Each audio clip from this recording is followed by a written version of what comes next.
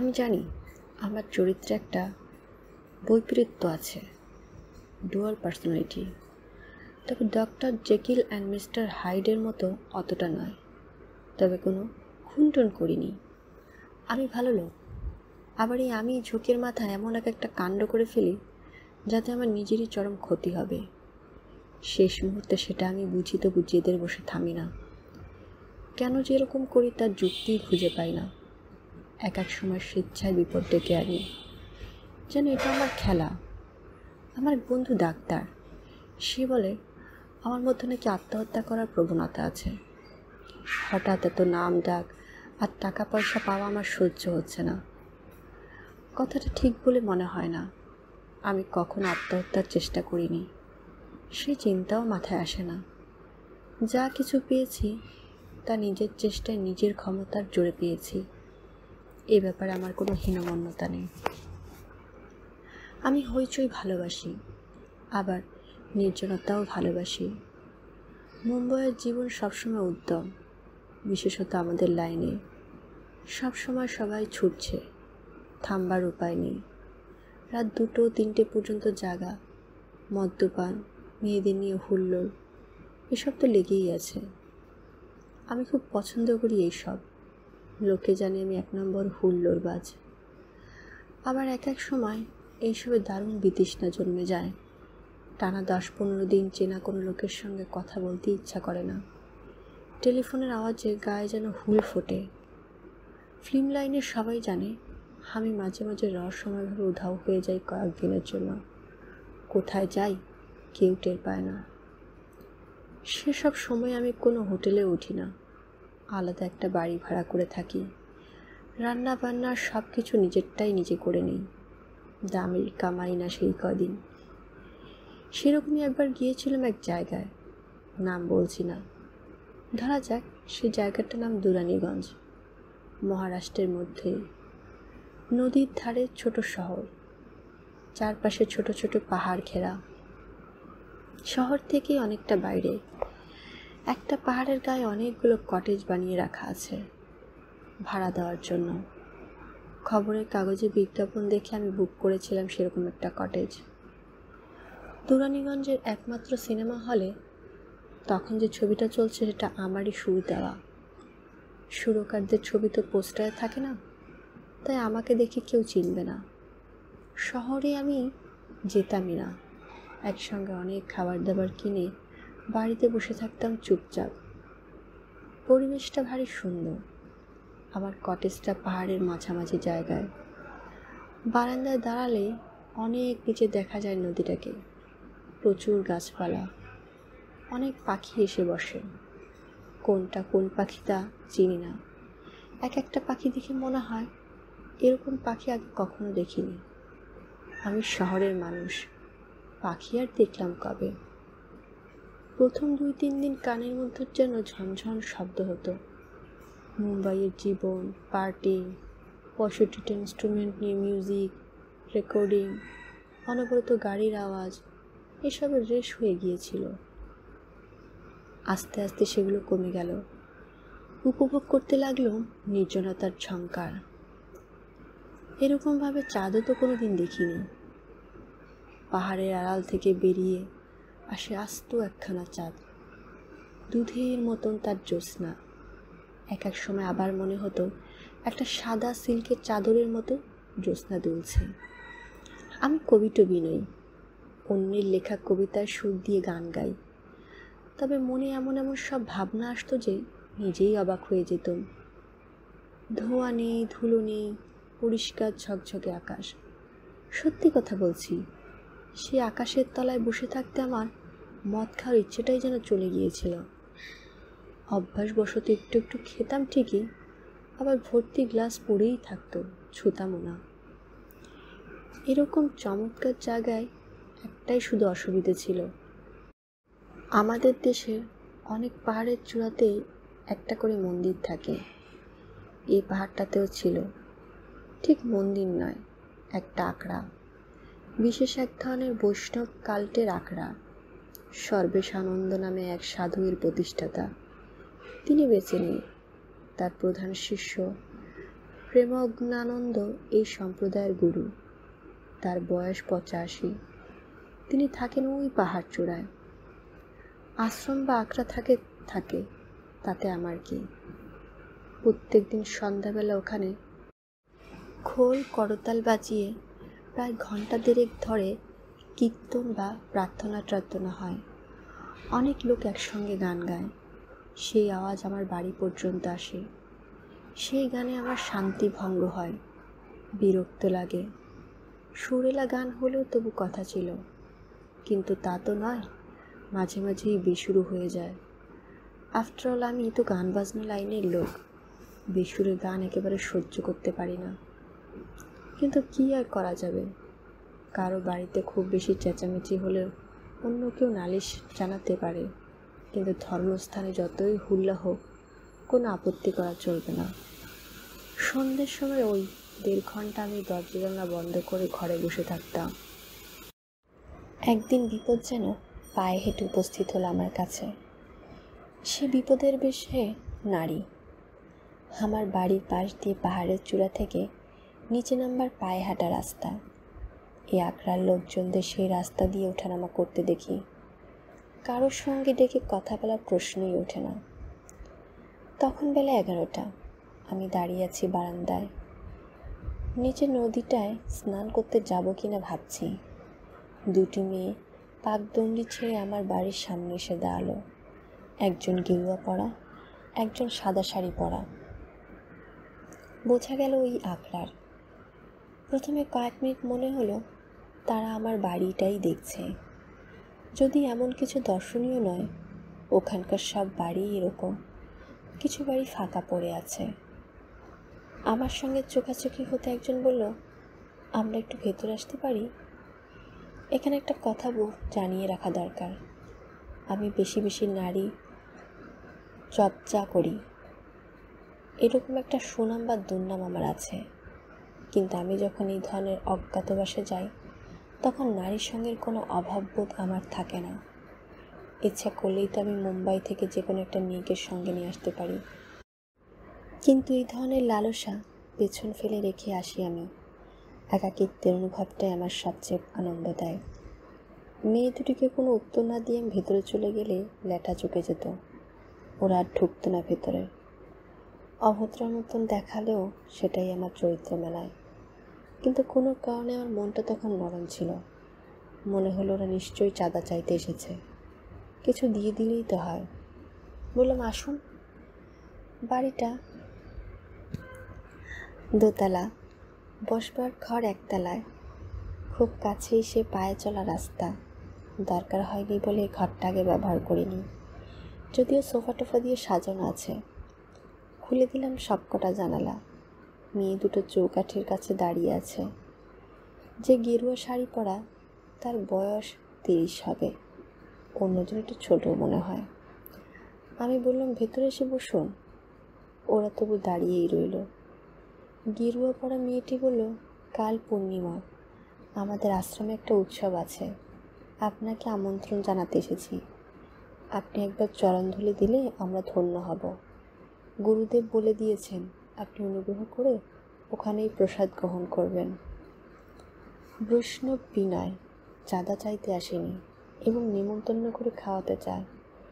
দুই চারজন শাসালো ভক্ত টাকা জোগাড় হয় আমি জিজ্ঞেস করলাম, আপনাদের ওখানে কিসের উৎসব? সাদা শাড়ি চঞ্চল চোখে নীরব গেরুয়া মেয়েটি কথা বলছে। সে দু হাত কপালে ঠেকিয়ে চক্ষু বুঝে প্রণাম করে বলল পরম গুরু সর্বেশানন্দীজির কাল আবির্ভাব দিবস। দয়া করে আসবেন। বেশিক্ষণ লাগে না উপরে উঠতে। বড়জোর দশ মিনিট। নাম গান হবে, শুনিয়ে চলে আসবেন। জন্মদিন কেরা বলে আবির্ভাব দিবস? আমি ঠোঁটকাটা মানুষ। ফস করে বলে ফেললুম, নাম গান হবে? কিছু মনে করবেন না। রোজ সন্ধ্যাবেলা আপনাদের ওখানে কীর্তন টীর্তন হয়। এখান থেকেও শুনতে পাই। মাঝে মাঝে বড় বেসুরও শোনায়। মেয়েটির ওষ্ঠে এবার একটা পাতলা হাসি রেখা ফুটে মিলিয়ে গেল। সে বলল, বেসুরো হয় বুঝি?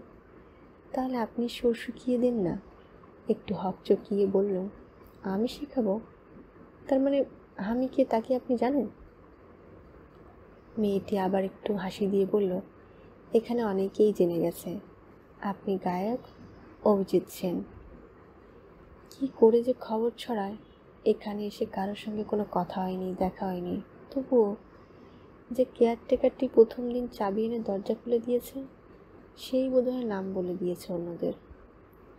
এই গেরুয়া নারী কি বাঙালি? অবশ্যই, প্রথম থেকেই তো সে বাংলায় বলছে আমার সঙ্গে কথা। নয়তো মহারাষ্ট্রের জন্ম, কিন্তু বাংলা উচ্চারণ পরিষ্কার। কণ্ঠস্বর বেশ নরম, তার সঙ্গে বৈষ্ণব বিনয় মিশে মধুর হয়েছে। এরকম একটা অখ্যাত জায়গার আশ্রমে একটি বাঙালি তরুণী মেয়ে কি করে এলো? কৌতূহল হবেই। অন্য মেয়েটি বাঙালি নয়। সে এবার মারাঠি ভাষায় বলল, তাই চলো, এরপর ঘিয়ের দোকান বন্ধ হয়ে যাবে। গিরুয়া মেয়েটি তাকে মারাঠি ভাষায় উত্তর দিল, দাঁড়া ইনি এখনও কথা দেননি। আমি বললাম, আপনার দাঁড়িয়ে কেন? বসুন না। গিরুয়া মেয়েটি একটি সোফায় বসল। অন্য মেয়েটির অস্থির ভাব আমি জিজ্ঞেস করলাম, আপনাদের এই আশ্রমটি কতদিনের? সে বলল, সত্তর বছর। তখন এখানে আর কোনো বাড়িঘর ছিল না। আপনি কতদিন ধরে আছেন? সাড়ে চার বছর। এর মধ্যেই আপনাকে গেরুয়া দিয়েছে? আমি যতদূর জানি, এত তাড়াতাড়ি তো গেরুয়া দেওয়া হয় না। আমাদের এখানে অন্য নিয়ম। অন্য মেয়েটি বলল, ভাই, তুমি কথা বলো, আমি ততক্ষণ দৌড়ে ঘি কিনে আনি। না পেলে মুশকিল হবে। ফেরার সময় তোমাকে এখান থেকে ডেকে নেব। গেরুয়া মেয়েটি বলল, না, চল, আমিও যাই তোর সঙ্গে। তারপরই মত বদলে ফেলে বলল, আমি কি এখানে একটু বসতে পারি? আপনার অসুবিধা হবে? অনেক দিন বাংলা কথা বলিনি। এত দূরে তো বাঙালি বড় একটা আসে না? বসুন না, কোনো অসুবিধে নেই। বোঝা গেল সন্ন্যাসিনী হলেও মাতৃভাষার উপর টান আছে।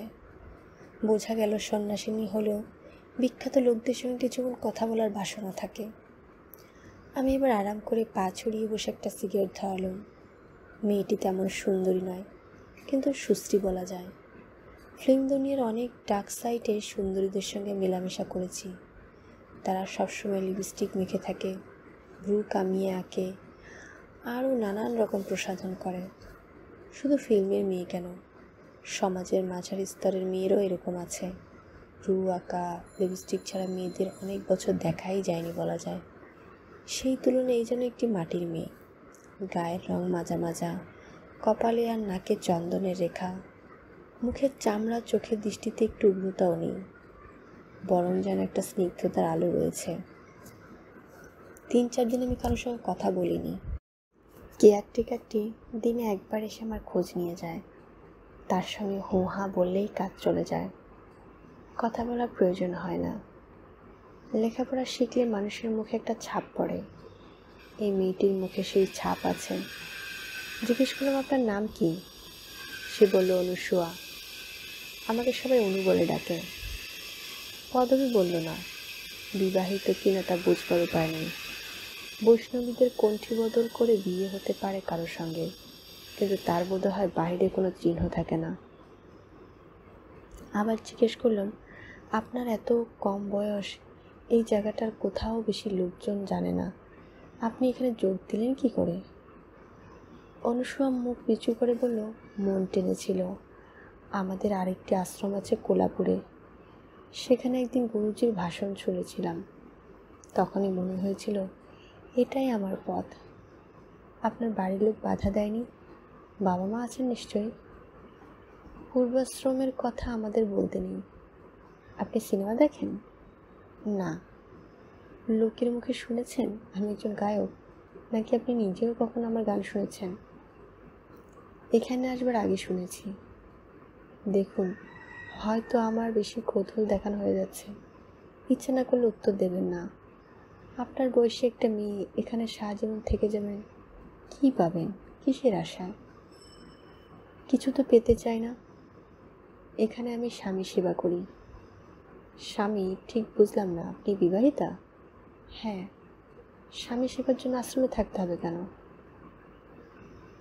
আমার স্বামী বংশীধারী, বজ্রবিহারী, প্রভু শ্রীকৃষ্ণ। তার বিগ্রহের মালা বদল করে আমার বিবাহ হয়েছে। আমাদের আশ্রমে যে কজন মেয়ে আছে, সকলের জন্যই এই নিয়ম। মীরাবাই মীরাবাই তো তবু একজন জলজন্ত স্বামী ছিল, শ্বশুর, শাশুড়ি, ননদিনী ছিল, সংসার ছিল। সেই সংসার জীবন অসহ্য বোধ হওয়ায় মীরাবাই কৃষ্ণের কাছে আত্মসমর্পণ করেছিলেন। আপনার কি সেরকম কোনো অভিজ্ঞতা আছে? আমাদের এই সম্পর্ক জন্ম জন্মান্তরের। তার মানে কি, দেবদাসী? দাসী নই, আমি প্রভুর জীবন সঙ্গিনী একবার ইচ্ছে হলো বাঁকাভাবে জিজ্ঞেস করি প্রভুটিকে। শ্রীকৃষ্ণর বকলমে গুরুজি টুরুজি নাকি?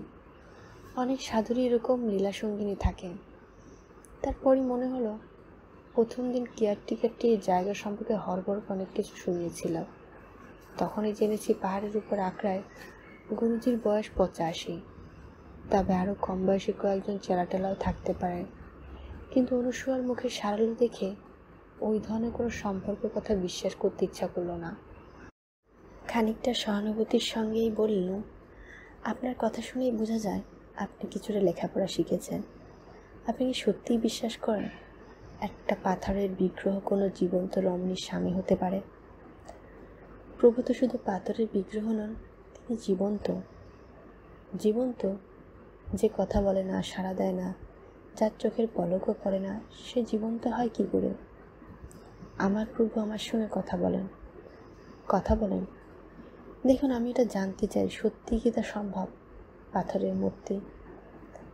প্রভু আমার সঙ্গে কথা বলেন স্বপ্নে প্রত্যেক দিন তিনি হাসেন, গল্প করেন।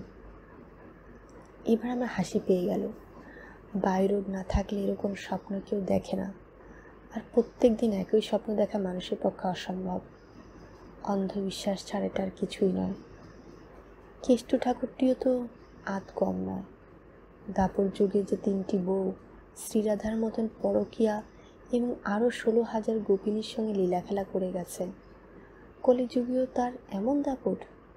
তার এমনই সেক্স অ্যাপিল যে অনুসরার মতো একটি সরল কমনীয় মেয়ে এই আশ্রমেরই আরও কয়েকটি মেয়ের সঙ্গে স্বামী হিসেবে তাকে ভাগ করে নিতেও রাজি?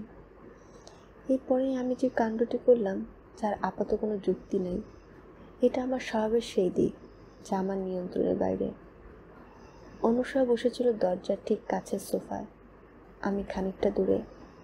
হঠাৎ আমি বাঘের মতো লাভ দিয়ে উঠে গিয়ে অনুসার পিঠে একটা হাত জড়িয়ে অন্য হাতে তার থুতনিটা উঁচু করে চুমু খেলাম। নিচুক এক ঠোক করে চুমু নয়। গভীর গাঢ় চুমু। প্রথমে সে ঠোঁট খুলতে চায়নি। খানিকটা জোর করেই ঠোঁট ফাঁক করতে হলো। চুমু শেষ করে আমি দ্রুত ফিরে গেলাম নিজের জায়গায়। ব্যাপারটা এমনই আকস্মিক এবং অচিন্তনীয় যে অনুসর আমাকে ঠিক মতন বাধা দিতেও পারেনি। তাছাড়া আমার সঙ্গে গায়ের জোরে পারবে কেন? আমি ছেড়ে দিতে এসে প্রথমেই আস্তে জানলার দিকে তাকালো। এটা মেয়েদের সাধারণ ইনস্টিংক্ট জানালার পাশেই রাস্তা। মাঝে মাঝে লোক চলাচল করে। কেউ না কেউ দেখে ফেলতে পারত। দরজাও খোলা। ওর সঙ্গী নিয়ে ফিরে আসতে পারে যে কোনো মুহূর্তে। আমার কৈশোর বয়সে মাস্তুতো বোনকে ছাদের সিঁড়িতে জোর করে জাপটে ধরে চুমু খেয়েছিলাম। সে মুখে না না এ কি এ কি বলল, সেটাকে খুব একটা জোর জবরদস্তি বলা যায় না। তার ব্যাপারে যথেষ্ট ইঙ্গিত ছিল। এছাড়া আমার বাকি জীবনে আমি কখনো কোনো মেয়ের উপর জোর করিনি। কবিতা, বনিতা, জৈব সুখদা স্বয়মাগতা কবিতা যেমন জোর করে লেখানো যায় না, সেরকম কোনো বনিতাও স্বয়মাগতা হলেই সুখপ্রদা হয়। সহবাস সম্মতি আইনে আমি একেবারে নির্দোষ। কিন্তু এক্ষেত্রে অনুসর প্রতি আমার ব্যবহার প্রায় বলাত্তরের পর্যায়েই পড়ে। আমি আগের মুহূর্তেও তাকে সিরিয়াস করার চেষ্টা করিনি। আমি যে পুরোপুরি দোষী, তা আমি স্বীকার করতে বাধ্য। অনুসার চোখ দিয়ে দরদর করে জল বেরিয়ে আসতে লাগল। নিদারুণ আহত গলায় বলল হে আপনি কি করলেন? এ আপনি কি করলেন? সে থরথর করে কাঁপছে। তাকে দেখে আমার মায়া হলো। খানিকটা অনুতাপ হয়েছিল কি? না, তা বোধ হয় হয়নি। অনুতাপ করলে তো কবেই আমি শুদ্ধ, সাত্ত্বিক লোক হয়ে যেত আমি আবেগহীন গলায় বললাম, তোমাকে হঠাৎ আমার আদর করতে ইচ্ছা হলো? হয়তো এটা অন্যায়। অনেকেই তাই মনে করবে। আমি এরকমই। দুদিকে মাথা নেড়ে সে বলল, না না না, ছি ছি কী করলেন? আপনার যদি বিপদ হয়? আমি বললাম, তুমি চেঁচিয়ে লোক ডাকতে পারো, সব কথা বলে দিতে পারো। তোমার কথা সবাই বিশ্বাস করবে। সে আরও জোরে জোরে মাথা নাড়তে লাগল আর ফোপাতে লাগল। আমি বললাম, লোকজন এসে যদি শাস্তি দেয়, তা আমি মাথা পেতে নিতে রাজি আছি। অনুসরা বলল, আপনার জন্য আমি প্রার্থনা করব। আমি বুঝতে না পেরে জিজ্ঞেস করলাম, আমার জন্য প্রার্থনা? কেন? কি প্রার্থনা করবে? আমি যাতে আজ রাত্রিতেই মরে যাই, যাতে কেউ কিছু জানতে না পারে? অনুসর সারা শরীরটা আরও জোরে কেঁপে উঠল। সে বলল, না না, প্রভু যদি রাগ করেন, আপনাকে শাস্তি দিতে চান, আমি ক্ষমা চাইব। প্রভু মানে পাথরের বিগ্রহ? আবার আমার মাথায় রক্ত চলে গেল। একটা পাথরের মূর্তি আমার উপর প্রতিশোধ নেবে? এটা আমাকে বিশ্বাস করতে হবে? দেখি তো তার কত ক্ষমতা। চ্যালেঞ্জ রইল। পাপ যদি করে থাকি, তাহলে আরেকটু বেশি করেই পাওয়া যায়। একইভাবে লাফিয়ে গিয়ে ফের জড়িয়ে ধরলাম অনুসয়াকে পাগলের মতো আদর করতে করতে বললাম এত সুন্দর একটা মেয়ে, সে সারা জীবন শুধু একটা পাথরের সঙ্গে, সে আমি কিছু করতে পারবে না। অনুসয়া ছটফট করলেও নিজেকে ছাড়িয়ে দিতে পায়নি এবারে শুধু চুমো নয়, আরও আদর দিলাম তার বুকে, তার নিচে আর নামিনি। একটু পরে ফিরে এলুম নিজের জায়গায়। দরজানা সব খোলা। কোনো লোক দেখা যায়নি অবশ্য। অনুসয়া কোনো কথা বলছে না। মুখ ঢেকে কেঁদেই চলছে। এবার আমার অপরাধবোধ অনেক কম। অনুসয়া বাধা দেওয়ার চেষ্টা করেছে ঠিকই, কিন্তু তার শরীর যে উষ্ণ হয়ে উঠেছিল তা আমিও টের পেয়েছি। শুধু উষ্ণতা নয়, তার বুকে যেন আগুনের হলকা। সাধারণ জৈবিক নিয়মেই তার শরীর সাড়া দিয়েছে। কোনো পাথর কি উষ্ণতা জাগাতে পারবে? বাগানের লোহার গেটে ক্যাচ করে একটা শব্দ হলো। অন্য মেয়েটি ফিরে আসছে। অনুসয়া শুনতে পেয়েছে। সে তাড়াতাড়ি উঠে দাঁড়াল। চোখ মুখ ভালো করে মুছে নিল। অন্য মেয়েটি বাগান পেরোবার আগে অনুসয়া ঘর থেকে বেরিয়ে যেতে গিয়ে একবার আমার দিকে সরাসরি চাইল। চক্ষু দুটি লাল। কান্নার ফলে মুখখানি ভাসা ভাসা, ঠোঁট ফোলা। ধরা গলায় বলল, আপনার জন্য আমি প্রার্থনা করব প্রত্যেক দিন বলাই বাহুল্য এরপর পাহাড় চূড়ায় সে আখড়া উৎসবে আমি যাইনি। ওখান থেকে আর কেউ আসেনি আমার কাছে। অনুসয়াকে রাস্তা দিয়ে যেতেই দেখিনি। দিন তিনেক পরে ফিরে এলুম কাজের জায়গায়। শুধু কাজ তো নয়, আবার পার্টি, হই হুল্লা রাত্রি জাগরণ, প্রত্যেকটি দিনই উত্তেজনা অস্থিরতাময়। এর মধ্যে ওই নির্জন প্রবাসের স্মৃতি আস্তে আস্তে ফিকে হয়ে আসে। মাঝে মাঝে এক এক ঝলক চোখে পড়ে, তারপর হারিয়ে যায়। হারিয়ে গেল না অন্য একটি কারণে। মুম্বাই ফেরার ঠিক সাড়ে চার মাস পর আমার জন্ডিস হলো। এমনই গুরুতর ধরনের যে ভর্তি হতে হলো নার্সিংহোমে আমাদের হাঁচি কাশি হলেও খবরের কাগজে বেরোয়। রেডিওতে বলে, অনেক ভক্ত চিঠি আসে। দেখতে আসে অনেকে। আমার একজন সেক্রেটারি আছে বটে। চিঠি সব আমি নিজেই পড়ি। নার্সিংহোমে শুয়ে শুয়ে অন্য অনেক চিঠির মধ্যে একখানা চিঠি থেকে চমকে উঠতে হলো। নাম সইনি গোটা গোটা বাংলা অক্ষরে লেখা, আমি তিন দিন উপবাসে আপনার জন্য প্রার্থনা করছি। আপনি ভালো হয়ে উঠবেন। আপনি ক্ষমা পাবেন।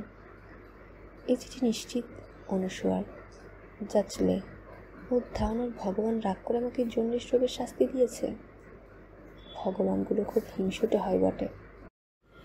ওল্ড স্টেটমেন্টের ঈশ্বর তো নিজের মুখেই বলেছেন I am a jealous God গীতায় শ্রীকৃষ্ণ বলেছেন, মামেকং শরণং বজন একমাত্র আমাকেই স্মরণ করো। অন্য ধর্মের ঈশ্বর ববতাররাও বলেছেন, শুধু আমাকেই আশ্রয় করো, অন্য কোনো দিকে তাকাবে না। আরে বাবু ভগবান হিসেবে যদি তোমার অতই গুণপনা ও আকর্ষণ থাকে, তা তোমাকে নিজের মুখে বলতে হবে কেন? মুম্বাইতে সেবার জন্ডিস প্রায় এপিডেমিকের আকার নিয়েছিল। আমার ওই নার্সিং হোম প্রায় সব বেডই জন্ডিসের রোগী। পটাপট করে কয়েকজন মারাও গেলেন। তাহলে কি আমি একা? অপরাধ অতগুলো লোককে ভগবান শাস্তি দিয়েছেন? কিংবা ওই সব লোকই ভগবানের বৌদ্ধের ধরে টানটানি করেছে? একমাত্র এই অপরাধ ছাড়া আর কোনো তো অপরাধ আর ভগবানের রাগারাগি চিহ্ন দেখি না। চতুর্দিকে জাল, জোচ্চুরি কালোবাজার নারী হরণ, নারী ধর্ষণ, নারী কেনাবেচা, মাফিয়ারা থাকছে বুক ফুলিয়ে, রাজনৈতিক নেতাগুলো বদের ধাড়ি, দোকান কাটা, চুরি করছে কোটি কোটি টাকা, কারোর কোনো শাস্তি হয়? আমার পাশের বেডের রুগীটির বয়স তেরো বছর। তার অবস্থা আমার চেয়ে সাংঘাতিক। সে কি অপরাধ বা পাপ করতে পারে? অনুসয়া বৈষ্ণব, ক্ষমাই তার ধর্ম। আমার ওই গা জোয়ারি অপরাধ যে ক্ষমা করে দিয়েছে, কিন্তু তার যে অরাধ্য দেবতা, সে রাগে বা হিংসায় আমার উপর প্রতিশোধ নিতে পারে, এই তার বিশ্বাস। নার্সিংহোম থেকে ছাড়া পেয়েও কিছুদিন আমার শয্যাশায়ী থাকতে হলো। জন্ডিসের পর নিয়মকানুন মানতে হয় অনেক দিন ভাজাভুজি খাওয়া বারণ, মদ একেবারে নিষিদ্ধ। এ রোগের ওষুধ বিশেষ নেই। সংযম আর বিশ্রামী আসল। মুম্বাইয়ের দিকে যেসব মাছ পাওয়া যায়, সেগুলো ঝোলের বদলে ভাজা খেতেই ভালো লাগে। মাছ ছাড়া আমি খেতে পারি না। মাঝে মাঝে মাছ ভাজা খেয়েছি, মদও দু এক ঢোক খেয়েছি লুকিয়ে। তবু সেরে তো উঠল আবার গান রেকর্ডিং শুরু করার পর অনুসরার কাছ থেকে একটা চিঠি এলো। এবারও অস্বাক্ষরিত আপনি সুস্থ হয়ে উঠায় আমরা সবাই পুলকিত। আপনার নামে পূজা দিয়েছি। ঈশ্বর আপনার মঙ্গল কামনা করুন। আমি নয়, আমরা। এটাই বৈষ্ণবদের ভাষা। তাহলে আমার অশোক সাল অনুসর পূজা ও প্রার্থনার জন্য? না, আমার মনের জোর। এর পরের বছর আমার নির্জন বাসের দরকার হয়েছিল। দুরানিগঞ্জ যাইনি। গিয়েছিলাম মধ্যপ্রদেশের বস্তারে। সেখান থেকে ফেরার পর একদিন স্টুডিওতে একটি নতুন মেয়ের গান রেকর্ডিং করার সময় আমার রক্ত হিম হলো। বেশ অনেকখানি। প্রথমে ধারণা হয়েছিল জন্ডিস ভালো করে সায়নি বলেই এই বিপত্তি। ডাক্তাররা জোর করে নার্সিংহোম শুয়ে দিল। পরে ধরা পড়ল আলসার। আমার খাওয়া দাওয়ার কোনো ঠিক নেই। এক একদিন সারাদিন কিছু সময় খাই না। তারপর সন্ধ্যের সময় প্রচুর ভাজাভুজি, চানাচুর, প্রচুর মদ্যপান এত সিগারেট, ঘুম কম। আমার আসার হবে না তো কার হবে? এর মধ্যে অনুসোয়ার একটা চিঠি এলো। ওই একই রকম বয়ান। সে আমার জন্য প্রার্থনা করছে। এই আলসারও ভগবানের রাগের প্রকাশ? এবারে মেরেই ফেলবে নাকি? এমন করা যান এত সহজে কি যায়? অপারেশন না করিয়ে সেরে উঠল একেবারে ফিট। আবার অনুসয়ার চিঠি। যেন তার প্রার্থনাতেই আমি সেরে উঠেছি। কি করেও খবর পাই কে জানে? মুম্বাইয়ের বাঙালিদের মধ্যে মধ্যে আবাসী ইঙ্গিতে খোঁজ খবর নিয়েছি। তাদের পরিবারের কোনো মেয়ে বৈষ্ণবী হয়ে আখড়ায় যোগ দিয়েছে কিনা? মুম্বাইতে এত বাঙালি, কজনকেই বা চিনি? কোনো সন্ধান পাইনি। অনুসূয়া একবার কোলাপুরের নাম বলেছিল, হয়তো সেখানকার মেয়ে। কিন্তু কোলাপুরে আর কে খোঁজ নিতে যায়? আমারও তো সময় বা কই? মানুষের জীবনে মাঝে মাঝে কিছু অসুখ বিসুখ, কিছু দুর্ঘটনার মধ্যে দিয়ে যেতেই হয়। বিশেষত আমাদের মধ্যে যাদের বলগা ছাড়া জীবন সবসময় অনিয়ম, আমাদের ঝুঁকি বেশি। যখন এরকম কিছু ঘটে, তখনই অনুসরার চিঠি আসে। সাধারণ জ্বর হলেও, যেন তার ভগবান কিছুতেই প্রতিশোধ নেওয়ার কথা বলতে পারছে না। আরে বাবা, তোমার শ্রীকৃষ্ণ সুদর্শন চক্র পাঠিয়ে আমার গলাটা কচুত করে কেটে দিলেই তো পারে। সে চাকুখাটা কি হারিয়ে গেছে? একবার একটা দুর্ঘটনা হলো ইউরোপে। রাইন নদীর একটা ফেরি পার হচ্ছিলাম। অতি সুদৃশ্য স্টিমার দুপাশের দৃশ্য চমৎকার। বেশ শীত। আমার গায়ে ওভারকোট। দাঁড়িয়েছিলাম বাইরের রেলিং ধরে। হঠাৎ একটা বার্জ এসে স্টিমারটা উল্টো দিকে ধাক্কা মারল। খুব জোর ধাক্কা। সেই ইম্প্যাক্ট সামলাতে না পেরে আমি আরও দুজন ছিটকে পড়ে গেলাম নদীতে। এটাকে বাংলায় যাকে বলে মস্ত বড় ফাড়া। একে তো জল একেবারে বরফের মতো ঠান্ডা। আমি সাঁতার জানলে ওভারকোট সময় অত জবরজং পোশাক নিয়ে সাঁতার কাটাও যায় না। আর স্টিমারের চাকার নিচে পড়ে যাওয়ার সম্ভাবনা খুবই বেশি। আমি ছাড়া অন্য দুইজন সাহেব। তাদের মধ্যে একজন গুরুতর জখম অবস্থায় হাসপাতালে পাঠানো হয়েছিল। পরে সে বেঁচেছে কিনা জানি না। আমি উদ্ধার পেয়ে গেলাম অক্ষতভাবে। কাগজেই খবর ছাপা হয়েছিল। দেশে ফেরার পর দেখি অনুসর চিঠি আমার জন্য অপেক্ষা করে আছে। তার ভগবানের ক্রোধ আমাকে ইউরোপ পর্যন্ত তাড়া করে গেছে। কথায় বলে, রাখে কৃষ্ণ মারেকে। আর আমার বেলায় কৃষ্ণই বারবার আমাকে মারতে চেষ্টা করছে। আমি এটা ভাবতেই চাই না। অনুসর চিঠি আমাকে মনে করিয়ে দেয়। প্রত্যেকবার এরকম কিছু ঘটার পর আমি মনে মনে তেজের সঙ্গে বলি, ওই হে ভগবান, আমার কিছু করতে পারলে তোমার মুহূর্ত বোঝা যাচ্ছে। চালিয়ে যাও, চেষ্টা চালিয়ে যাও। আমার ঈশ্বরে বিশ্বাস নেই। তবু এরকম মনে হওয়াটাই তো এক হিসেবে আমার পরাজয়। ভূতে বিশ্বাস না করে ভূতের ভয় পাওয়ার মতন। অনুসয় এবারে চিঠিটা একটু অন্যরকম। যেন তার ঈশ্বর, তার জীবন, স্বামীর প্রতি এতদিন খানিকটা অভিমান হয়েছে। কেন তিনি আমাকে ক্ষমা করতে পারছেন না? কেন তিনি প্রতিশোধ স্পৃহা ভুলতে পারছেন না? সেই জন্য সে নিজেই কাঁধে সব দোষ নিয়েছে। শাস্তি হিসেবে মাথা নেড়া করে ফেলেছে। ইস, বড় সুন্দর চুল ছিল মেয়েটার। কিন্তু আমি কি করতে পারি? সেই তার ঈশ্বরকে বারবার দায়ী করছে। আমি তো করছি না। মানুষকে জীবনে এক দুবার হাজার খায় না? আমি তো অনেক সময় শুকনো জায়গাতেও হাজার খাই। মদ্যপান করার পর আমি সিঁড়ি দিয়ে নামবার সময় খুব সাবধানে নামি কখনো দুর্ঘটনা হয়নি। একবার পোর্টে একটা জাহাজে নেমন্তন্ন খেতে গিয়েছিল। প্রচণ্ড খাওয়ার পর দড়ি সিঁড়ি দিয়ে নামতে হয়েছিল। ঠিক পেরে গেছি। কদিন আগে নিজের বাড়ি সিঁড়ি দিয়ে দিন দুপুরে পা পিছলে পড়ে গেছি। কলার খোসা ছিল না, কিছু ছিল না। তবু এরকম হতেই পারে, হয়তো অন্য মনস্ক ছিলাম। একটা গানের সুর কিছুতেই মনের মতো হচ্ছিল না। পড়ে গিয়ে পা ভেঙেছি। কদিন বাদে সেরে তো যাবেই। তবু এর মধ্যে আবার অনুসর সেই কাতর চিঠি। যেন এটাও তার ভগবানের কীর্তি। ভগবানের কি খেয়ে দেওয়ার কাজ নেই? বিশ্ব সংসার সামলাবার কথাও সে ভুলে গেছে? এদেশে কত গরিব, দুঃখী, অনাথ, আতুর রয়েছে। তাদের জন্য মাথা ব্যথা নেই? শুধু তার ঘুরছে আমার পেছন পেছন। মাত্র দুখানা চুমোর জন্য এত? ট্রেন প্রচুর লেট ভিক্টোরিয়া টার্মিনালে পৌঁছলো সন্ধ্যাবেলা অবিদা আগেই বলে রেখেছিলেন, আমার হোটেলে ওঠা চলবে না। ওর দুজন সহকারী গাড়ি নিয়ে স্টেশনে হাজির ছিল। অবিদার পায়ের অবস্থা বেশ খারাপ। ধরাধরি করে নিয়ে যেতে হলো। মালাবার হিলসে একটা সতেরোতলা বাড়ি। তার সবচেয়ে উঁচু তলায় অবিদার ফ্ল্যাট। ঠিক সমুদ্রের দিকে একটা চওড়া বারান্দা। সেখানে দাঁড়ালে চোখ জুড়িয়ে যায়। মুম্বাইতে এলেই আমার মনে হয়, ইস কলকাতা শহরটা কেন যে সমুদ্রের ধারে হলো না? তিন শয়নকক্ষের প্রশস্ত অ্যাপার্টমেন্ট, মস্ত বড় বসবার ঘর, একদিকে খাওয়ার জায়গা দু হাজার স্কোয়ার ফিট তো হবেই। এখানে অবিতা একা থাকেন, একজন বাবুর্চি তার রান্নাবান্না করে দেয়। রীতিমতন উর্দি পড়া বাবুর্চি। মাথায় টুপি ইংরেজিও বোঝে গায়ক ও সুরকারের বাড়িতে নানা রকম গান বাজনার যন্ত্র থাকবেই, অত্যাধুনিক মিউজিক সিস্টেম। কিন্তু বেশি চোখে পড়ে বই, একটা ঘরের তিন দিকের দেওয়াল জোড়া বড় বড় র্যাক ভর্তি বই যত্ন করে রাখা।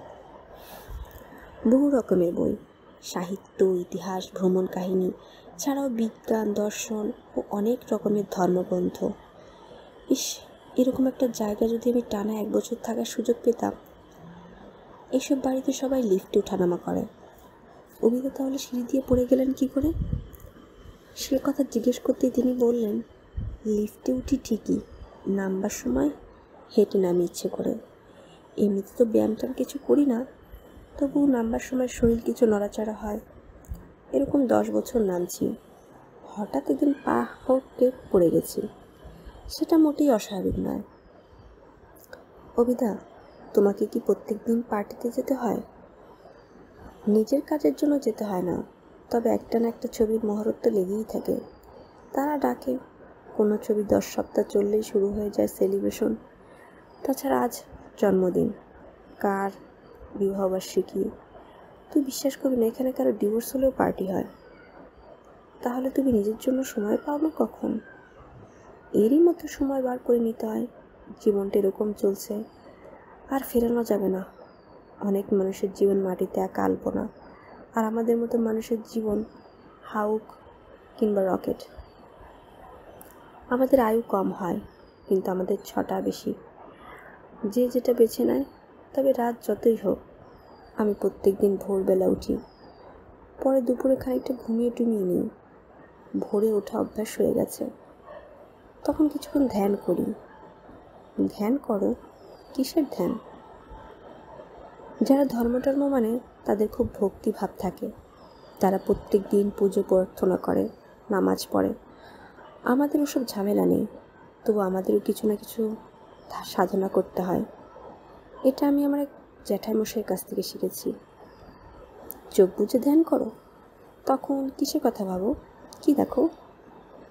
রবীন্দ্রনাথ রামমোহন গান্ধীজি উস্তাদ আলাউদ্দিন খা, আব্দুল করিম খা, এদের ছবি মনের চোখে ভেসে ওঠে। এরাই তো এই যুগের দেবতা। ছেলেবেলায় গান শিখিনি তেমন। এখন গলা সাধি, কঠিন কঠিন রাগ গলায় তোলার চেষ্টা করি। তাতেই সকালবেলা মনটা ভালো হয়ে যায়। আর হ্যাঁ লিভার ভালো রাখার জন্য নিম পাতার রস খাই। রবীন্দ্রনাথ মদ খেতেন না। তবুও নিম পাতার রস খেতেন। আটটা বাঁচতে না বাঁচতে অভিদা বললেন, অনেকক্ষণ সন্দেহ হয়ে গেছে, এখন আর্নিক শুরু করি গিয়ে। গ্লাস, সোডা আর বরফ দিতে বল। ওই কাবার্ডে বোতল আছে অনেক রকম, তোর যেটা ইচ্ছা নিয়ে আয়। শুনি, তুই আমেদাবাদ গিয়ে কী করবি? এখানেই থাক না কদিন। আমি বললাম, ওদের কথা দেওয়া আছে যে, স্টেশন অপেক্ষা করবে। কথা দিয়ে সব কথা রাখিস বুঝি? বেশ বেশ, অভ্যাসটা ভালো। আমার অবশ্য ধাতে নেই। তুই কবিতা টবিতা তো লিখিস, বুঝলাম। আর কিছু করিস? একটা খবরের কাগজে ও সেই টিপিক্যাল ব্যাপার। সাহিত্য করতে গেলেই হয় খবরের কাগজ, আর নয় স্কুল কলেজে মাস্টারি। সব জায়গায় একরকমই দেখি। অথচ যারা সাহিত্য রচনা করবে, তাদের সারা দেশ, এমনকি সারা পৃথিবী ঘুরে বেড়ানো দরকার। মানুষকে চেনা দরকার। ছোট্ট একটা গণ্ডির মধ্যে থেকে ওসবের জন্য অনেক টাকা লাগে, অভিদা। টাকা রোজগার করলেই পারিস বড় বড় উর্দু কবিরা এখনকার সিনেমার জন্য গান লিখে অনেক টাকা রোজগার করে। আবার নিজস্ব কবিতাও লেখে। তোরা বাঙালিরা কেন করিস না? বাংলা সিনেমার তো স্কোপ নেই। এখানে চলে আয়, তোর বয়স এখনও কম। জীবনটা নিয়ে কি করবি, ঠিক করেছিস?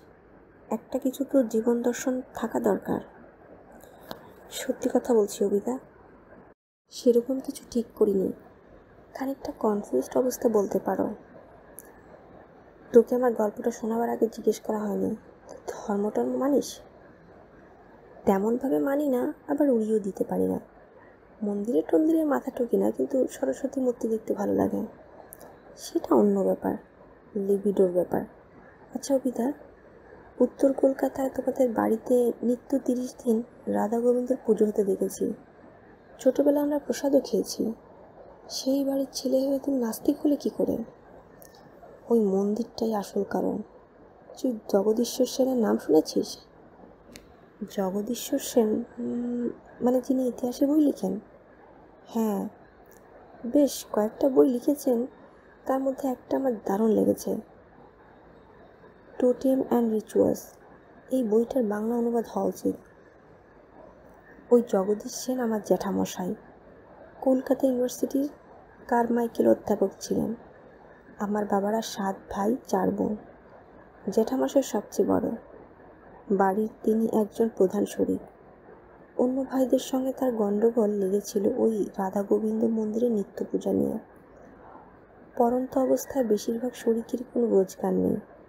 মন্দিরে প্রতিদিন দুবেলা পুজো চালাতে তো খরচ আছে। কে দেবে? এ ওকে ঠেলাঠেলি করে। একদিন বড় জেঠাই সবার সঙ্গে একসঙ্গে খেতে বসেছেন। হঠাৎ প্রস্তাব দিলেন, মন্দিরের পুজো বন্ধ করে দাও। পঞ্চধাতুর বিগ্রহটা পুরনো, ওটা দান করে দেওয়া হোক মিউজিয়ামে। মন্দিরটা অনেকখানি জায়গা জুড়ে আছে। এখন আমাদেরই ঘরে কুলোচ্ছে না। মন্দিরটা ভেঙে ওখানে অনায়াসে একটা তিনতলা বাড়ি উঠতে পারে। কিছু ভাড়া দিলেও রোজগার হবে। খাবার টেবিলে যেন একটা বাজ পড়ল।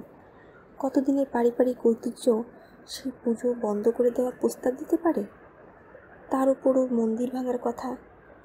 এ যেন কানে শোনাও পাপ। শুরু হয়ে গেল চিৎকার চেঁচামেচি। বড় জ্যাঠামশাই আবার দৃঢ় গলায় বললেন, আগে যখন জমিদারি ছিল, তখন এসব মন্দির করা হতো।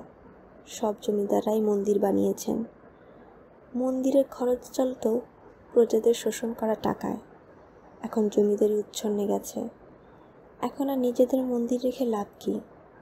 বাইরে তো কত বারোয়ারি মন্দির আছেই আমার ঠাকুমা তখন বেঁচে ছিলেন ঠাকুমা দারুণ ইন্টারেস্টিং ক্যারা কটার তার কথা তোকে পরে একদিন বলব। বড় জ্যাঠামশাইয়ের ওই কথা শুনে ঠাকুমা বললেন, যোগু তুই যদি আর একবার ওরকম কথা উচ্চারণ করিস, তাহলে আমি গলায় কাটারি দেব।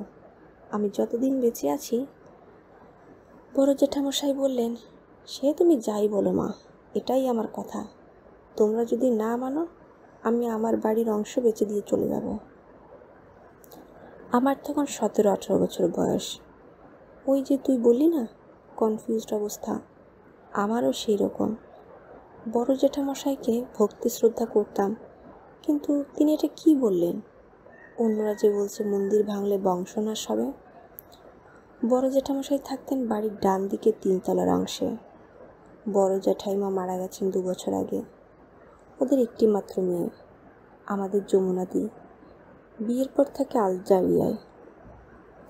জ্যাঠামশাই একা হয়ে গেছেন। আমি দেখা করতে গেলাম তার সঙ্গে। বাড়ির ছেলে মেয়েদের সঙ্গে বড় জ্যাঠামশাইয়ের বিশেষ ভাব ছিল না। এতগুলো ছেলে মেয়ে, সবার নামও জানতেন না বোধ হয় আমার মুখ চিনলেন অবশ্য। প্রথমে আমার দু একটা প্রশ্ন শুনে উনি ঠিক পাত্তা দিলেন না। গম্ভীরভাবে বললেন, আমি যা বলব, তা তোমাকে মানতে হবে। এমন কোনো কথা নেই। তুমি তোমার যুক্তি দিয়ে বুঝতে শেখো। আমি খুব আন্তরিকভাবে জিজ্ঞেস করলাম, বড় জ্যাঠামশাই একটা ব্যাপার কিছুতেই বুঝতে পারছি না। যুক্তি গুলিয়ে যায়। আপনি একটু বুঝিয়ে বলুন তো, ঈশ্বর বলে সত্যি কি কেউ আছেন না নেই? জ্যাঠামশাই আমার চোখের দিকে সরাসরি তাকিয়ে রইলেন কয়েক মুহূর্ত।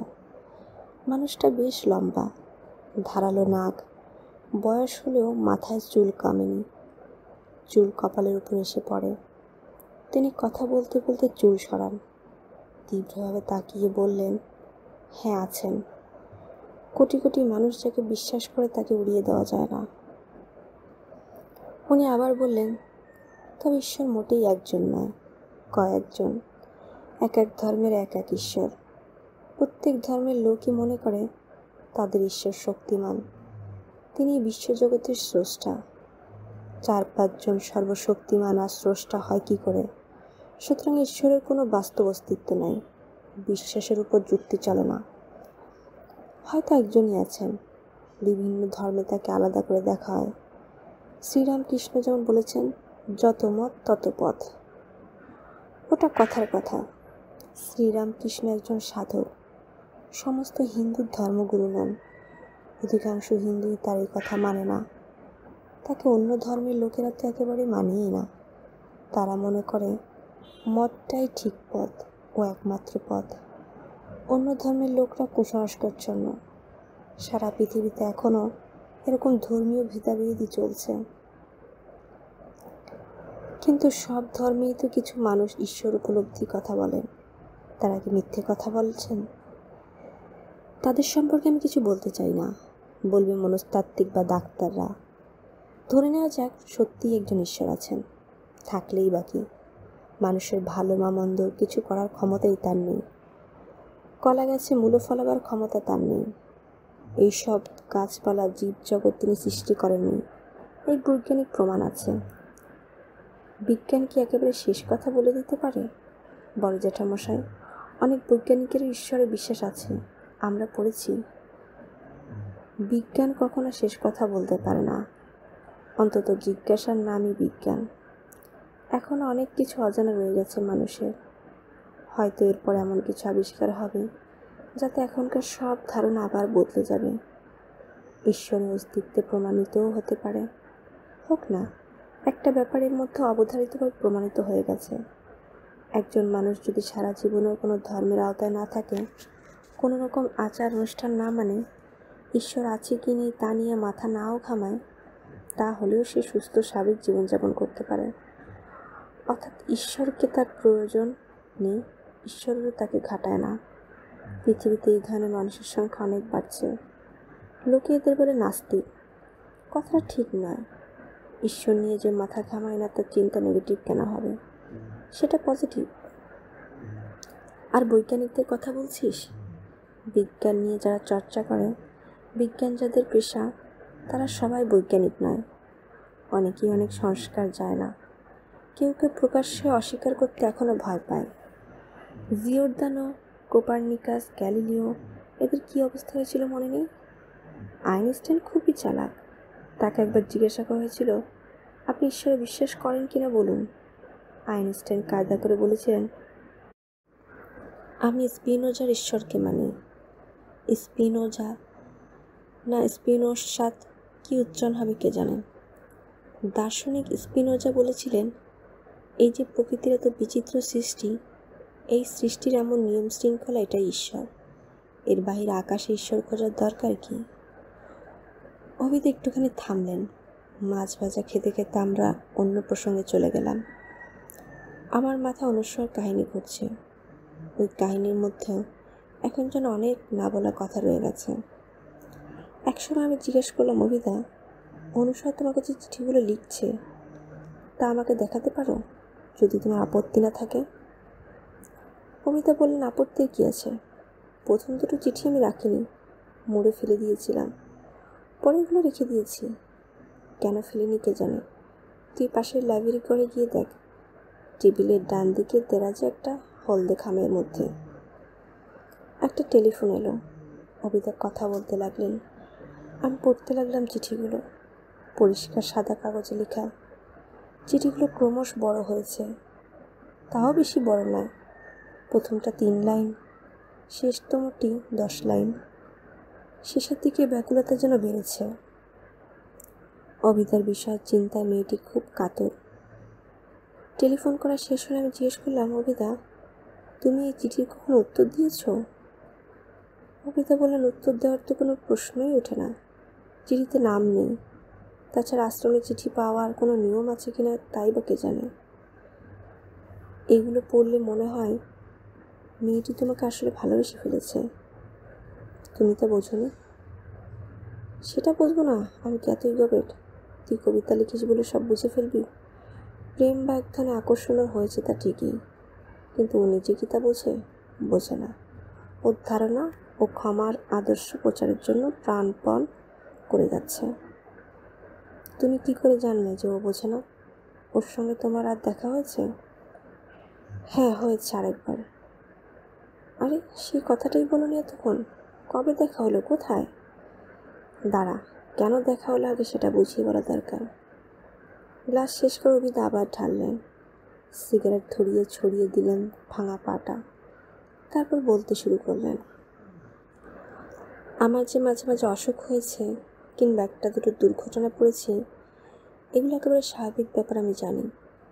মানুষের জীবন বদলাবার কোনো ক্ষমতা যে ঈশ্বরের নেই তা আমি মর্মে মর্মে প্রমাণ পেয়েছি অনেক ঘটনায়। সেসব আমি ডায়েরিতে লিখে একসময় পড়তে দেবো। ধর গরিব বিধবার একমাত্র ছেলেটা যদি বিনা দোষে পুলিশের গুলিতে মারা যায়, তখন মনে হয় না ঈশ্বরকে ঈশ্বরত্ব থেকে বরখাস্ত করা উচিত? কর্তব্যের চরম অবহেলা? অনেক ধর্মভীরু এই ঘটনার পরে বলে কি জানিস? ওই বিধবা নিশ্চয়ই পূর্বজন্মে পাপ ছিল, তাই এ জন্মে শাস্তি পাচ্ছে।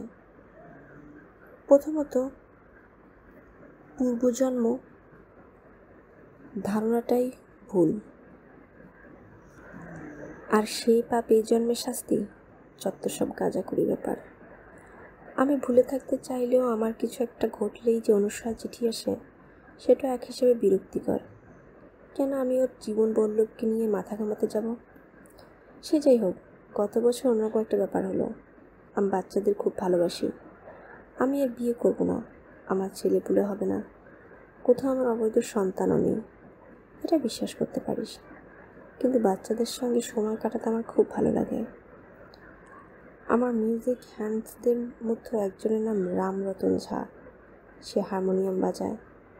এখানকার অনেক গানেই তো আর হারমোনিয়াম লাগে না। সিনথেসাইজারে কাজ করে। সেই জন্য বেচারি অবস্থা ভালো নয়। অনেক দিনের পরিচয়। এদের বাড়িতে মাঝে মধ্যে যাই। রামরতনের মেয়ে সবিতা। তাকেও ছোট অবস্থায় দেখেছি। বড় হয়ে গেল, বিয়ে করল। বিয়ের ঠিক সাড়ে তিন বছরের মাথায় তার স্বামী মারা যায় ট্রাক চাপা পড়ে। সাইকেল এসে বাড়ি ফিরছিল। মাথাটা এমনভাবে পিষে যায় যে চিনতেও কষ্ট হয়েছে। সবিতা দুই বছর একটা ছেলেকে নিয়ে ফিরে এলো বাবার কাছে। ছেলেটার নাম পিন্টু। কি সুন্দর, লাভলি বাচ্চা। একদম কাঁদে না। সবসময় হাসে। চেনা অচেনা নেই। আমার সঙ্গে খুব ভাব হয়ে গেল। গেলেই আঙ্কেল আঙ্কেল বলে ছুটে এসে জড়িয়ে ধরে। আমারও এমন মায়া পড়ে গেল যে প্রত্যেক দিন ওকে দেখার জন্য মনটা কেমন করে। যতই কাজ থাক, দিনে একবার ওর কাছে গিয়ে কিছুক্ষণ খেলা করে আসি। সে প্রিন্টের হলো টাইফয়েড জ্বর এমনভাবে হাসি খুশি বাচ্চাটা বিছানায় শুয়ে কষ্টে ছটফট করে। সে দৃশ্য সহ্য করা যায় না। তখন টাইফয়েড এমন শক্ত অসুখ নয়। ঠিক করলাম যেমনভাবে হোক একে বাঁচাতেই হবে। রামরতন যেন টাকার জন্য চিন্তা না করে। আমি গিয়ে শিউরের কাছে বসে থাকতাম। তবু পিন্টুর অবস্থা ক্রমশ খারাপ হতে লাগল। হঠাৎ একসময় আমার কী মনে হলো জানিস? মানুষের সংস্কার কি সাংঘাতিক প্রবল? আমার মনে হলো আমাকে শাস্তি দেওয়ার জন্য অনুসয়া হিংসুটে ভগবান। এই বাচ্চাটাকে মারতে চাইছে না তো? ঈশ্বর অস্তিত্বে বদ্ধমূল অবিশ্বাস। তবু এরকম চিন্তা মাথায় আসে? এমনকি কথাও মনে হলো আমার অসুখের সময় অনুসয়া প্রার্থনা করে। অনুসয়া তো পিন্টুর অসুখের কথা জানে না। অনুসয়া প্রার্থনা করলে পিন্টু সেরে উঠতে পারে? একবার অনুসয়াকে গিয়ে বলব, আমারই যদি সব যুক্তি চলে যায় তাহলে আমার চেয়ে যারা দুর্বল, তারা তো বারবার হার মানবেই। তোকে সত্যি কথা বলছি শুনি, ওই সময়টায় আমার বারবার মনে পড়তো অনুসর কথা। খুব ইচ্ছে করতো তার কাছে ছুটে যাই। যাওয়া হয়নি। বলতে গেলে আমার কোলে মাথা রেখেই পেনটা মারা গেল। এমন ফুটফুটে সুন্দর মুখটা, কি শুকনো বিবর্ণ হয়ে গেল আমার চোখের সামনে। আমি কাঁদিনি, আমি রাগে ফেটে পড়ার উপক্রম হয়েছি। ডাক্তারদের উপর ভরসা না রেখে শেষ পর্যন্ত সবিতা কোনো মন্দিরে যেন মাথা টুকতে গিয়েছিল। আমার ইচ্ছা করছিল, কালা পাহাড়ের মতন সবকটা মন্দির ভেঙে দিই। পরের দিন সবটা রাগ পড়ল অনুসয়ের উপর। তার ভগবান আমাকে মারতে না পেরে ওইটুকু শিশুকে মেরে প্রতিশোধ নিল? সে এত কাপুরুষ? অনুসয়া জানুক, বৈষ্ণবদের আরাধ্য ঈশ্বরও কত হৃদয়হীন হতে পারে। অবিতাকে বাধা দিয়ে আমি বললাম কিন্তু পৃথিবীতে অনেক শিশুরই যেভাবে মরে যায়, আমাদের ব্যক্তিগত শোক হয় ঠিকই, কিন্তু চিকিৎসা সত্ত্বেও কে বাঁচবে আর কে বাঁচবে না, তা নিশ্চিতভাবে বলা যায় না। তুমিই তো বলেছ, ভগবান বলে কেউ থাকলেও মানুষের মঙ্গল বা অমঙ্গলের ব্যাপারে তার কোনো ভূমিকা নেই। কবিতা বললেন, তা ঠিকই, কিন্তু ওই যে বললুম, পিন্টোর অসুখের সময় আমি এমনই কাতর হয়ে পড়েছিলাম যে যুক্তি টুক্তি সব চলে গিয়েছিল। আমার ভেতরটা দাউ দাউ করে জ্বলছিল। আমি আবার ছুটে গেলাম দুরানিগঞ্জে। কিছু কিছু বাড়ি ওখানে খালিই থাকে। আগের বাড়িটা পাওয়া গেল না। অন্য একটা বাড়িতে উঠলাম। সেটা পাহাড়ে একটু নিচের দিকে। নদীটা স্পষ্ট দেখা যায়। অনুসয়াদের আশ্রমে গিয়ে যে লণ্ডভণ্ড করা চলে না, এমনকি সেখানে অনুসয়ার সঙ্গে কথা বলাটাও ঠিক নয়, সেটুকু কাণ্ডজ্ঞান আমার ছিল। কিন্তু অনুসয়ার সঙ্গে দেখা করতেই হবে। রাস্তার ধারে দাঁড়িয়ে থাকি। দ্বিতীয় দিনে অনুসয়াকে দেখা গেল। সঙ্গে আরও তিনটি মেয়ে গান গাইতে গাইতে যাচ্ছে। অনুসয়া এক পলক আমার দিকে তাকালো, যেন আমাকে চেনেই না। তুই বললি অনুসয়া আমার প্রেমে পড়েছে। এটা কি ধরনের প্রেম? একটা পাথরের মূর্তির গলায় মালা পরাবে আর আমাকে দেখলে না চেনার ভান করবে? আরে দূর থেকে প্রেমপত্র লিখবে? সে রাত্রে আমার ঘুমই এলো না। বিছানায় ছটফট করলাম সারা রাত। পরদিন দুপুরবেলা রাস্তায় ওদের দলটাকে দেখতে পেয়ে আমি বাড়ি থেকে ছুটতে ছুটতে চলে এলাম। হাঁটতে লাগল ওদের পাশে পাশে। রাস্তা দিয়ে তো যে কোনো লোক যেতেই পারে। কথা বলার দোষ নেই। আমি আগে অন্য দুটি মেয়েকে নিরীহ কৌতূহলের সুরে জিজ্ঞেস করলাম, আপনারা কোন আশ্রমে থাকেন? আপনাদের উদ্দেশ্য কী? আপনারা কি গরিব দুঃখীদের সেবা করে থাকেন? এইসব। ওরা উত্তর দিয়েছিল। তারপর একসময় অনুসার পেছন পেছন গিয়ে চাপা গলায় বাংলায় বলুন অনুসা তোমার সঙ্গে আমার দেখা করা বিশেষ দরকার। তুমি যদি আমার বাড়িতে আসতে না চাও, নদীর ধারে বড় বটগাছটার তলায় এসো, বিকেল বা সন্ধ্যার সময়। বিকেল হতে না হতে আমি গিয়ে বসলুম নদীর ধারে। এই নদীতে সকলের দিকে অনেকে স্নান করতে আসে। বিকেলের দিকে মানুষজন থাকে না। তাছাড়া একটু শীত শীত পড়েছে। সেদিনটা আবার আকাশ মেঘলা হয়ে গেল। শীতকালেও তো মাঝে মাঝে বৃষ্টি হয়। কি মুশকিল। বৃষ্টি হলে অনুষ্য আসবে কি করে? ওই দিকটার উপর থেকে নামবার জন্য আর একটা সরু পাকদণ্ডি পথ আছে। আমি হা করে সেই দিকে চেয়ে বসে রইল একটার পর একটা সিগারেট পোড়াচ্ছি। কারোর জন্য এরকমভাবে অপেক্ষা করে থেকেছি কখনো? থিওরি অফ রিলেটিভিটির স্পষ্ট প্রমাণ পাওয়া যায়। পাঁচ মিনিটকে মনে হয় এক ঘণ্টা। ঘন ঘন ঘড়ি দেখছি। আমি জীবনে কখনো কোনো মেয়ের জন্য ওরকমভাবে প্রতীক্ষা করিনি। আমার একটা অহমিকা আছে। আমি মেয়েদের কাছে যাই না। তারা আমার কাছে আসে। অথচ সেই আমি। তাছাড়া মনে হচ্ছিল অনুসু আসবে তো? সে তো হ্যাঁ কিংবা না কিছু বলেনি। আশ্রম থেকে একা আসার অসুবিধে থাকতে পারে। যে কোনো মুহূর্তে বৃষ্টি নামবে। এর মধ্যে কী অজুহাতে সে বেরোবে আশ্রম থেকে? কিংবা সে হয়তো আমার সঙ্গে আর দেখা করতেই চায় না। তাহলে আমি কি করব? কতক্ষণ কেটে গেছে জানি না। আকাশ অন্ধকার হয়ে এসেছে। তারই মধ্যে হঠাৎ একসময় দেখি উপরের দিকে রাস্তায় কী যেন একটা উঠছে অনেকক্ষণ এক দৃষ্টিতে তাকিয়ে আছি তো, দৃষ্টি বিভ্রম হতে পারে। সত্যি মনে হলো একটা পাখি যেন নেমে আসছে। পাখি নয়, সে অনুসুয়া নামছে দৌড়ে দৌড়ে। আমারও তো কবিত্ব নেই। তবে অনুসুয়াকে পাখি বলেই মনে হতে লাগল। শীতের জন্য সে একটা চাদর জড়িয়েছে। সেই চাদরটা উঠছে ডানার মতো। আমার মনে হলো এমন সুন্দর দৃশ্য আমি কখনো দেখিনি। আমার শরীর থেকে সমস্ত রাগ চলে গেল। আমি এক দৃষ্টে দেখছি সেই মেয়েটিকে। অনুষা কাছে এসে ঝপ করে বসে পড়ে। মেকুল ভাই বলল, আপনার কি হয়েছে? কি হয়েছে বলুন, আমি প্রার্থনা করব। আমি আমার আয়ু দিয়েও অনুষা ভেবেছে আমার শক্ত কোনো অসুখ হয়েছে। তাই আমি জীবন বাঁচাবার জন্য ওর কাছে প্রাণ ভিক্ষা করতে এসেছি। আবার আমার রাগে জ্বলে ওঠা উচিত ছিল। তীক্ষ্ণ ব্যঙ্গ বিদ্রুপে ওকে বিততে পারতুম প্রাণ ভিক্ষে করব আমি? অভিষেকছেন ওর ভগবানের কাছে? তার আগে আমি থুতু ফেলে ডুবে মরব। কিন্তু রাগ হলো না। ওরকম কথাও এলো না। একটি মেয়ে আমাকে তার আয়ু দিতে চায়।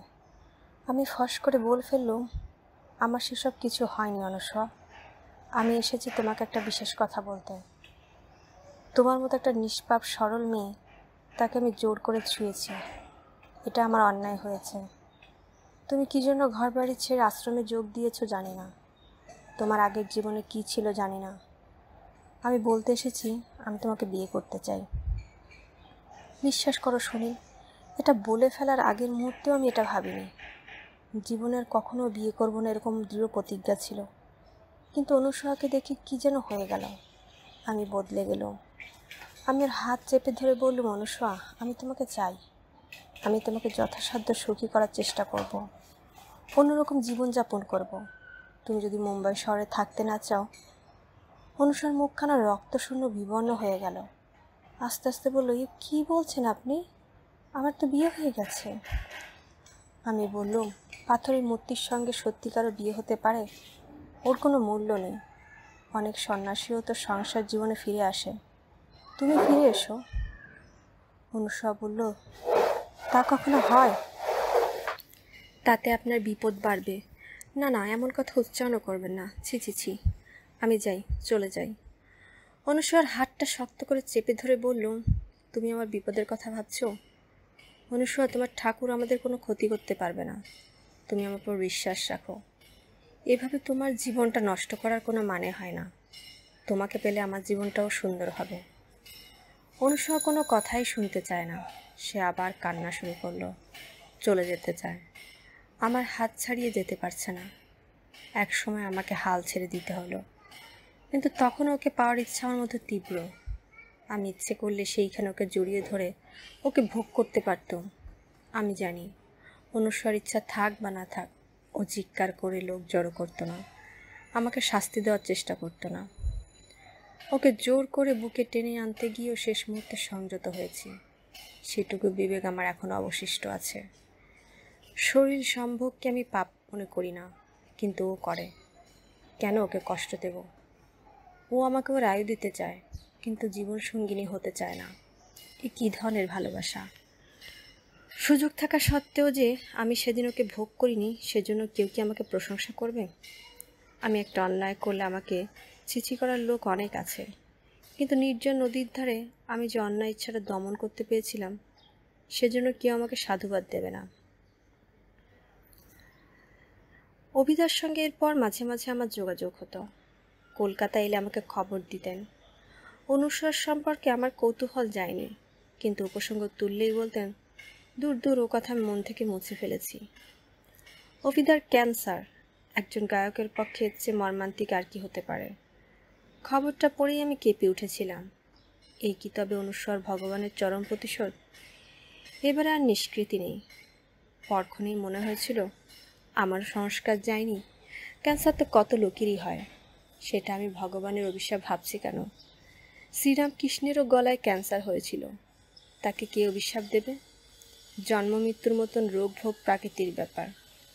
সেবার অভিদা যখন কলকাতা এলেন, তাকে দেখে খুব কষ্ট হলো।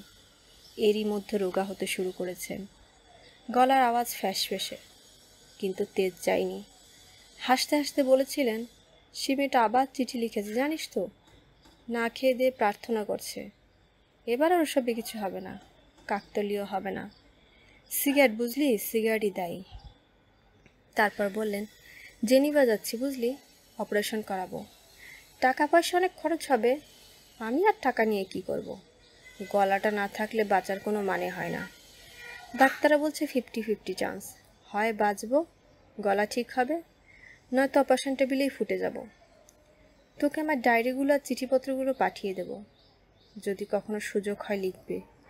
আমার কথা, আমার জীবন কাটিয়েছি নিজের ইচ্ছে মতো। ভগবান টগবানের তোয়াক্কা করিনি। জীবনের প্রতি আমার বিশ্বাস পজিটিভ আমি মরতেও যাচ্ছি স্বেচ্ছায়। বলতে গেলে একটা মিরাক্কেল ঘটিয়ে দিলেন অভিদা। জেনিভা থেকে সুস্থ হয়ে ফিরে এলেন। অপারেশন সাকসেসফুল ছ মাস বাদে আবার রেকর্ড করালেন নতুন গান। গলা নষ্ট হয়নি।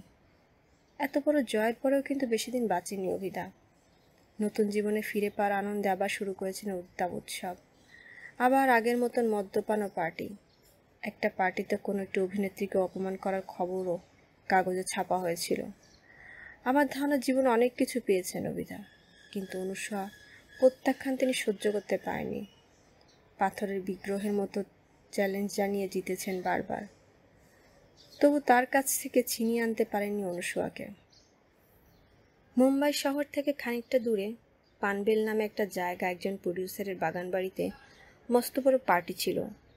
সেখানেই আকণ্ঠ মদ্যপান করে মধ্যরাতের পর একা গাড়ি চালিয়ে ফিরছিলেন। গৃহস্বামী অনেক অনুরোধ করেছিল সেখানেই থেকে যেতে। কিন্তু ওই জবিদার যে তাকে কি আটকাতে পারে? এক জায়গায় রাস্তা সারাবার জন্য খানিকটা ঘেরা ছিল। সেখানেই দাঁড়িয়েছিল একটা রোড রোলার। অবিদা অন্ধকার দেখতে না পেয়ে সোজাসুজি ধাক্কা মারে। গাড়ি বেশ স্পিডে ছিল। হেড অন কানেকশন যাকে বলে। বেশি যন্ত্রণা ভোগ করতে হয়নি। সঙ্গে সঙ্গে মৃত্যু। অবিদা বলেছিলেন, মাটিতে আঁকা আলপনার মতো নয়। তার জীবন উল্কার মতন। সেরকম জীবনের এরকম পরিণতিই তো স্বাভাবিক। এটাও কি প্রতিশোধ? অনুসার বিশ্বাসের ভগবান কখনো কখনো বামন অবতার, কখনো নিঃসিংহ অবতার হয়ে দুষ্টের দমন করেছেন। তিনি রোড রোলারের রূপও ধারণ করতে পারেন, কি জানি না। অনুষার সঙ্গে একবার দেখা করার খুব ইচ্ছা হয়েছিল। অবিদা যেবারে জার্মানিতে স্টিমার থেকে বরফ কলা নদীতে পড়ে গিয়েছিলেন সেবার তার মাথার সব চুল কেটে ফেলেছিল।